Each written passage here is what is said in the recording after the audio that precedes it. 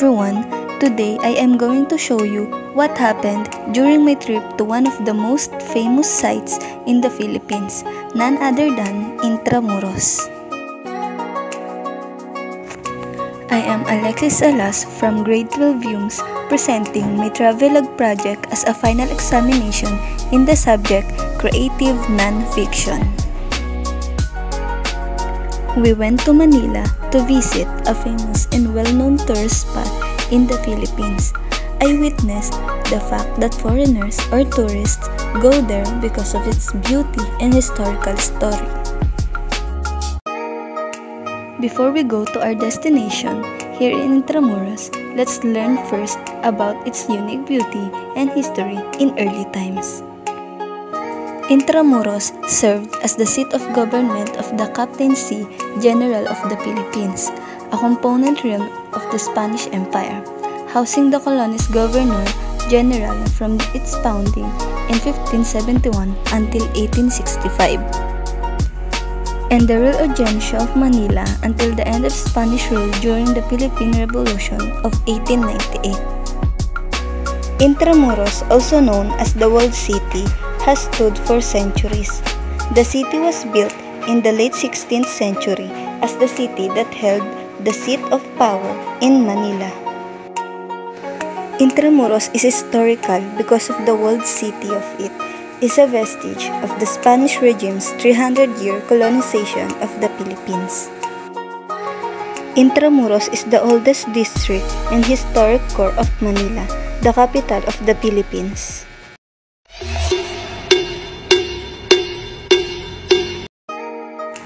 Now that we know the history about Intramuros, let us proceed to our main goal here.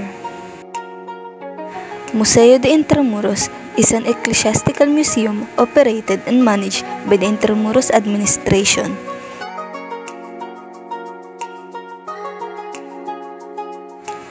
As soon as I entered the museum, I was immediately amazed at the beauty that opened up to me here. It is located at the reconstructed San Ignacio Church and Convent within the historic walled area of Intramuros in Manila, Philippines.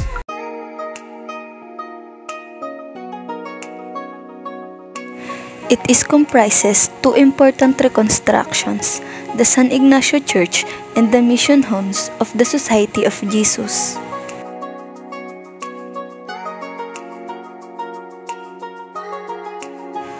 Museo is a place where collections of things of artistic, scientific, or historic interest are set out for display.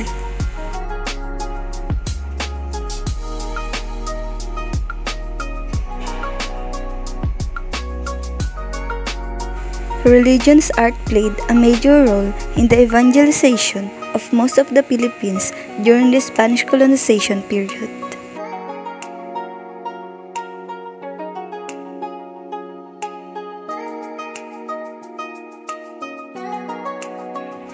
Now, let's go to the second floor of the museum.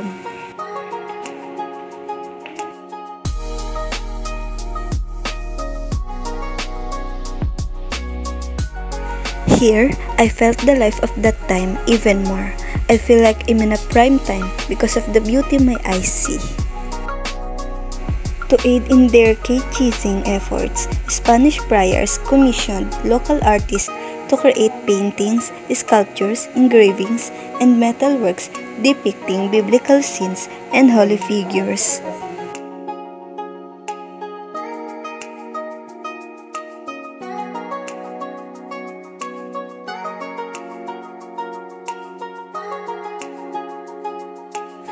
As I was walking, I couldn't help but to think of the beauty and skill in sculpting and painting by the local artists the people of the olden days were truly talented. Although there are still many people who are capable of this type of work, but they still cannot match the skills of the olden days.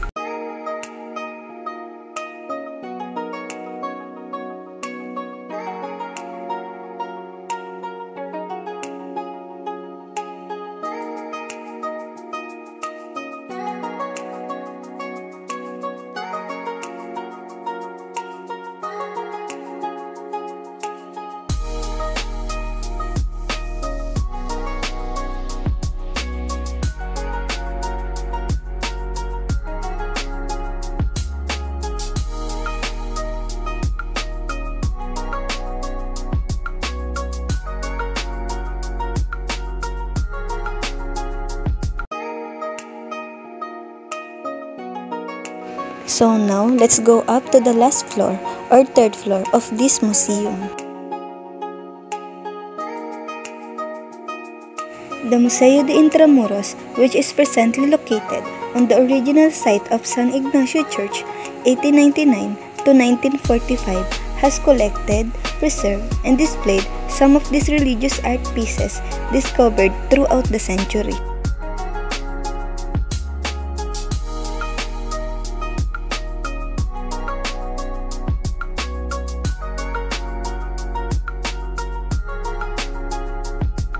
Here on the third floor can be seen various pictures of old and ancient churches in ancient times.